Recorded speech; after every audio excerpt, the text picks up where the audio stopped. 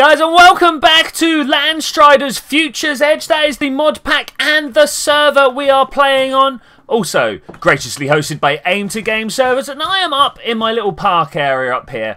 I've got to say I've noticed there is one thing missing here, and that is of course the grass. There are two ways of dealing with the fact that there's no grass here. One of them is I could build a little spiral of dirt coming all the way up here, leading in, and let the grass grow all the way up here. I think that would be nice, but not really the quickest way of doing it. The other way would be to apply some enchantments, which is something that I will be doing. If we go and have a look inside here, you see I've started work on another room. Oh wow guys, trying to build bookshelves. I've recently gone on a cull and got myself a whole load of leather, so I'm going to be able to make another, I don't know, 10 or 13 bookshelves, but still not quite enough to do what I want. But anyway, this block here, the Enchanter, not the cheapest block in the world to make. It was a couple of diamond blocks, some dark steel, and a bookshelf. But this enables me to put the enchantments I want onto books. So if I come back here and get a book and quill and place in here,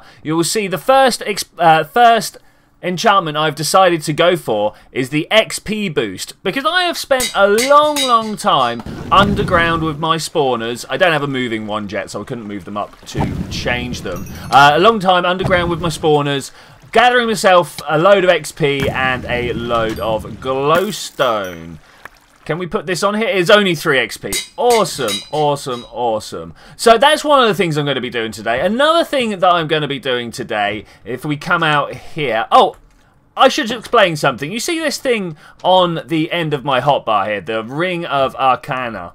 Uh, this is a ring from Project E. Oh, look, I put my graphics onto fast to try and, like, save some frame rate. I think these are killing me uh, to save some frame rate, but it's done a funny thing to this tree. That's interesting. Oh, well, I'm, I'm probably going to take it off of fast as well, because that's not really done much. But yes, another thing I want to do is replicate this out, because this is great. There we go. Let's. The, the, ring gives me the power of flight, as well as some other things that are not quite so convenient. But yeah, the power of flight is amazing.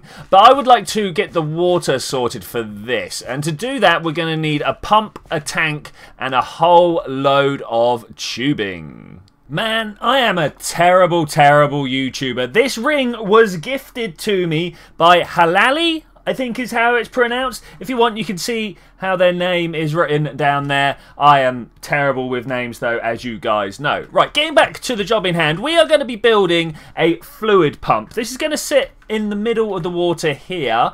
Uh, we're actually going to have this duplicated out sort of four times in a petal fashion around this middle bit. And then we'll have little um, ender farms coming off of that as well. But that's getting a little bit of ahead of, ahead of ourselves. How do we build this pump? pump Wow, words. That's a very good question. I mean, I'm going to start with this iron uh, iron mechanical component. It needs a little bit of copper in the middle and some iron around the outside. For some reason, I have decided that I am going to do this manually. Yes, okay. Normally, I sh uh, shift-click stuff, but no, not today. Now, these fluid pipes, these will require some iron plates, and these are made, of course, with the engineer's hammer. Now, I brought absolute shed load of iron, and I'm going to turn most of this into iron plate because I'm going to need this. I'm going to need more than just a little bit of iron pipe, basically. But we'll take that for now. And we also need a few more for that, which I believe... Yes, we can now completely do that. Now this, I'm going to put it down on the side here so we can talk about its functionality. Boom. Um, oh, normally there's a... Oh yeah, there we go. It's black. I just I can't see it across against the sky. If we come around this way, we can see it a little better. Now this will pump liquid all from this bottom edge here. If I take my torch out of my bar. The blue indicates that it's an input and the orange indicates output. So what we will do is we will have some of this iron pipe coming out it then needs a tank attached to it, which I forgot to bring with me. I was going to bring a pressurized tank with me. And then you need to fill it with some power. So let me go and get those things done. And then we'll think about how we're going to run the pipe in this way. I think we're going to... Should we do a little experiment quick? Oh, it's dangerous. I'm going to take this out of here. I'm not sure if I've just lost everything or not. This is the experiment. This is this is what we're going to see. Uh, and then we put the stone block over here, and that should still all be good. Okay, brilliant. And then we're going to end up pumping it into there. So maybe that ladder will have to change, maybe not. So you're probably wondering what's going on here, and I've got to admit, this is more a construction of concessions than doing exactly what I wanted. I started off by placing the pump here that we've met earlier on in the episode, uh, just right in the middle. Uh, and I was like, okay, well, let's run some water pipe off. You can see down the bottom there, we got a little bit of water pipe. Now, I knew we could put scaffold on it, so I decided to make a little bit of decking here. And that was just kind of running along the bottom. And then I was like, okay, now how can we power this? And I thought the Stirling engine was a obvious idea. We got that from just over there. It was um, parked on top of the farm. So I pulled that over and I was like, okay, so how are we going to power it? Obviously, we're getting wood from the farm, right? So maybe if we put a alloy smelter down, because that's the only sort of powered furnace I have, that can run off of the same power that that can. Uh, and that will make some charcoal, which kind of shuttles it all along lovely. It's just got a little item filter on here for that. Uh, then on this other side, I've got a double hatch array here. And this is just literally shipping whatever whatever can fit across into here. I didn't really want the silver birch to replant at the moment, but it's okay. It's no big deal. We will live with that. I'm taking the sand out because the sand needs to be taken out. Uh, I'm also trying to replenish with dirt. I forgot to go and grab the dirt. This was one thing that I did not set up. Uh, where this is all coming through here, I gotta say I don't like it. I don't like it. Even if we had the uh, conduit facades, you know, the blocks that cover everything up, we've got more than a few of those in post for them. I still think those just going into the side will look a bit funny. Maybe we want to replace it with a factory block or something like that. But what are we going to do next? Well, I think we could do with another one of these just over here. Now, I have got a whole load of bags on me and a few uh, farm blocks and stuff like that. I've just thought that it's not going to be able to build just floating in the water like that. Out the back here, I got quite a few, quite a few chests, quite a few chests. These are filled with the bits that I need for three of these uh, flower petals, farm petals. Yeah, I'm going to call them the farm petals actually, because uh, then it'll be like a flower farm.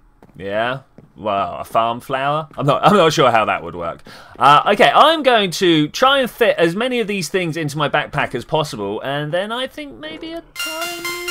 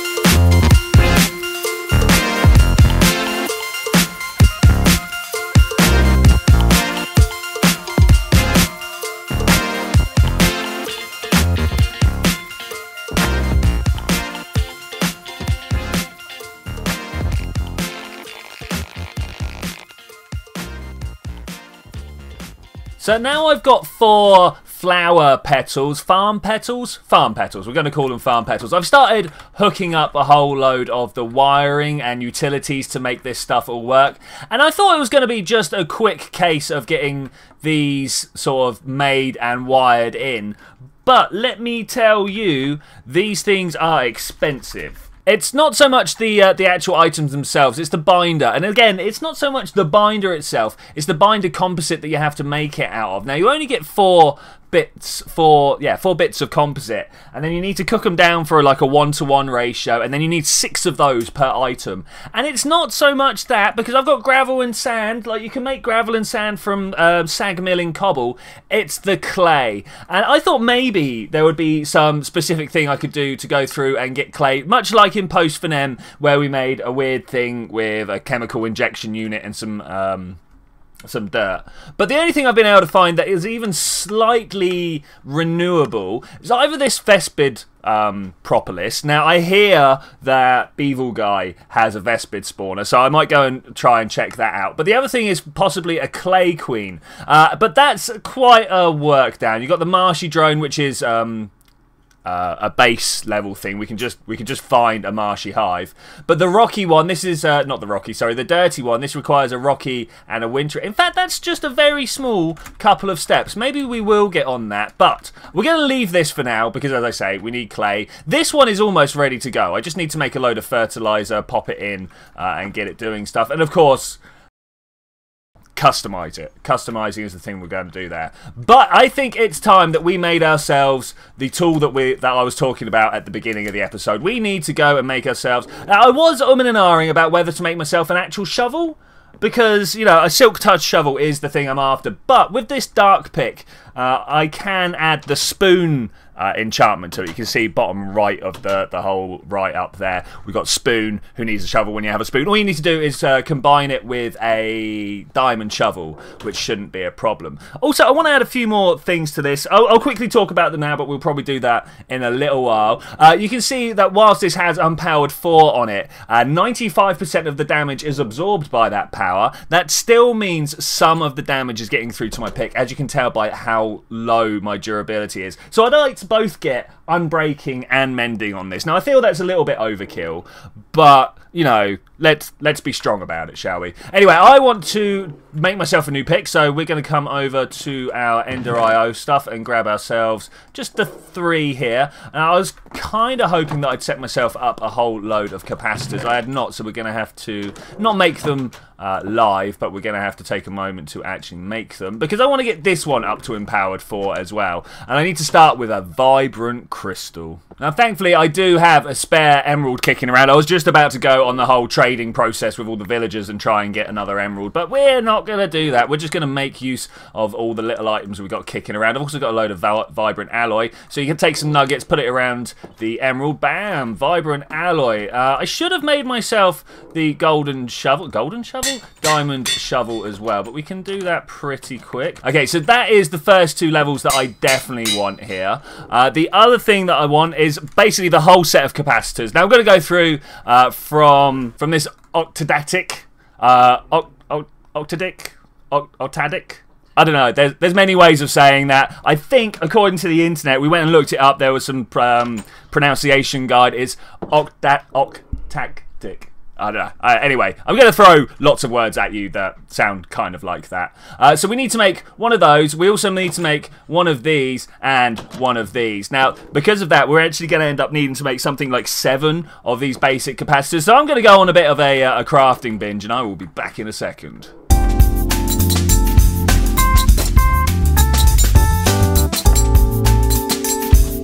So that was relatively quick to make, but man, trying to power it up when I've been doing some sag milling and some furnacing takes a little while. Gonna have to uh, address the power issue at some point. But let's uh, let's come out here and let's I don't know pick a random corner.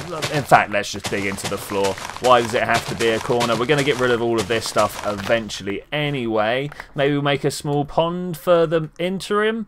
No, no, we're just gonna do that, and then we're gonna take these all the way up here and start growing some grass here. Now, I'm not sure if we want to use these as the seed points of some hillocks. So like something like this. Maybe I should have brought some extra dirt with me. Like, we're probably going to want another one here, and it will rest up against whatever wall we have here. Really have to get round to ripping this back wall out. I can, I can kind of see two spiral staircases coming up either side. I thought that would be uh, a kind of a nice way. You've got this little balcony out here. Maybe we can even extend the balcony with a bit of glass, because that won't stop the uh, village, uh, the doors being part of the village. Uh, and then we, we won't worry about losing these to the village because we've already got quite a few villagers and the lag has started from the number of villagers we've got. So maybe we will avoid that.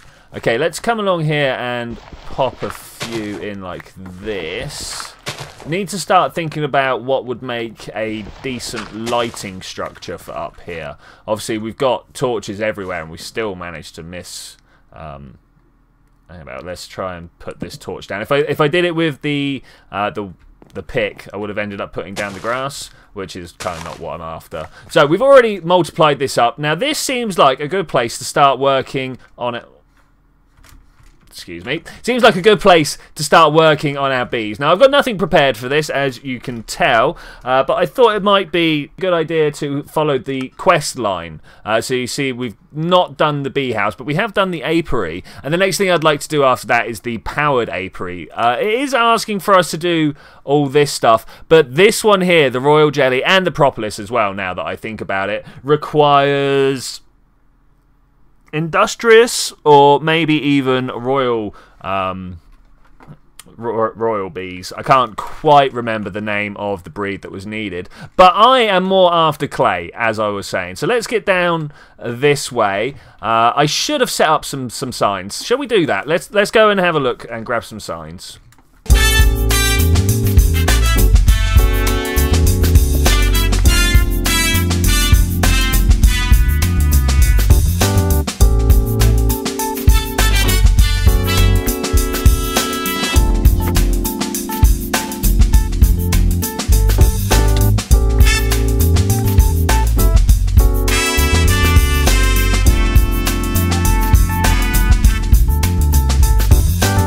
So you can see I've made a bountiful bee breeding board. Yeah, I knew that was a bad idea putting a tongue twister up there. And this tells me exactly what I need to breed to get to the clay. You can see we need to put rot Rocky and a basic drone. That's like meadows, forest, wintry, you know, the basic stuff you find in the world. Uh, and if you breed those together, you get a dirty bee. Uh, then you mix the dirty and the marshy bee to get clay. Shouldn't be a problem, right?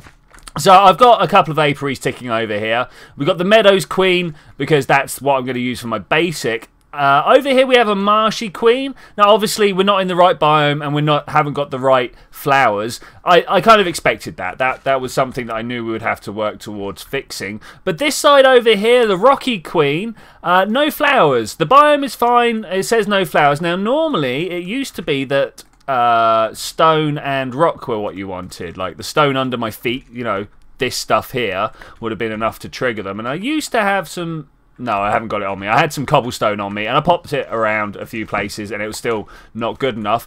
And it tells me that we need to make the Beealyzer to find out exactly what's going on. Now, this shouldn't be too hard. Fabricator with some water in it, uh, tin ingots, stained glass panes or normal panes, uh, redstone, and a diamond. Alright, and that's the Beealyzer done, or at least the portable ana analyzer. Uh, perhaps at some point we'll make ourselves the uh, static version, but let's use this to have a look at this queen and see exactly what she is demanding that we are not providing.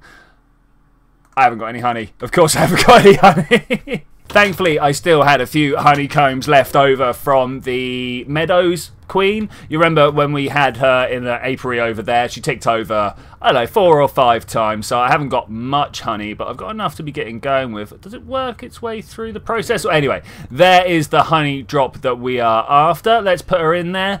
Uh, flower type, ore. It wants a bit of ore. Now, thankfully, Halali was just like, hey, I've got all this stuff backing up my uh, my storage system. Do you want to take it off my hands? And I was like, thank you. And they were like, thank you. And everyone was just like winners in that example. Have I taken it off my hotbar? I have taken it off my hotbar. Every now and then I find myself just kind of jumping at a wall going, why aren't I flying? So I'm hoping that this ore is the type that they want. We'll just pop a little coal ore there. Uh, if all else fails, we will try something different.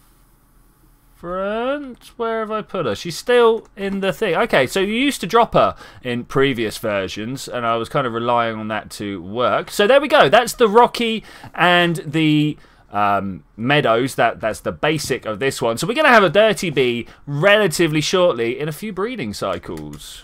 So the last segment made it kind of sound like that I was just going to put down two apiaries and magically the dirt bee would appear. Uh, and that, well, it didn't kind of happen. What happened was I put down the meadows and let them turn over. You can tell by a hole in the roof. Oh, incidentally, guys, I put a roof up. I think I like the blue. Well, it's actually cyan. Uh, it feels kind of calming. And I'm not sure if you guys can see, but where I've got these two dots, we've got almost these angel wings imprinted up there. But yeah, anyway, in here we got some meadows, and I had a rocky uh, apiary right next to it, and they were just kind of turning over. So we ended up mixing the dirty and the basic in a third third apiary, uh, and that almost immediately gave me the Dirty Bee. I think I only had to breed two of them together to do that. And then I needed to go to where that marker is. So over here will give you one of the better ideas of how I've been actually breeding. Just for reference, we are literally stone's throw from Beavelguy's place, who is also just a little distance from mine. Also, uh, Landstryder's, if you guys were wondering. So I came over here, and you can tell we're super close because there is indeed an XP farm around. I know it's around here somewhere. I saw it. Maybe I don't have the power to get down there anymore. I did see the box around somewhere. There we go. There's an XP farm just over there. Uh, but I've put down two apiaries. One of them is uh, has got the marshy drones in. And all I'm doing here is just building up a drone stock. And then over on this side, I've got the dirty drones turning over. Uh, once again, I'm probably just going to end up taking these back with me. In fact, I'm going to grab these as well because these are no longer needed. I'm going to take all of this back. Uh, so then I had a spare marshy drone. I put that in here and then kept on feeding alternately a dirty drone and then a marshy drone, depending on what the queen did, but essentially uh, swapping them around until I got these clay dro drones and princesses. And then I kept on feeding back clays in there to make a purebred um, clay. And so it brings me to the point where I can just kind of throw this down over here. And now you'll notice I'm putting it not underneath the hole because I'm kind of hoping that the rock traits that it, this uh, clay started from will carry on through. You'll see Yes, indeed. They do not need the sky access, and that is absolutely fine with me. I just need to do a quick setup on these uh, auto refills. Now, because it's only one type of bee, it literally will just feed round and round. Ah, all these problems need to be addressed. Okay, that that's totally fine. We can do that next time. But now I'm going to say thank you very much for joining me for this adventure, guys. I will see you next time when we're going to do a few more things with the bees. Nothing serious, much like this time. It's just probably going to be an amendment on the end. We're going to try and get that going up a little bit more. We're going to have to try and find somewhere to process some bees. And as I say, now that we've got all the clay, we can get the farms fully wired up and working. So I'll see you then when we're going to do that. Bye!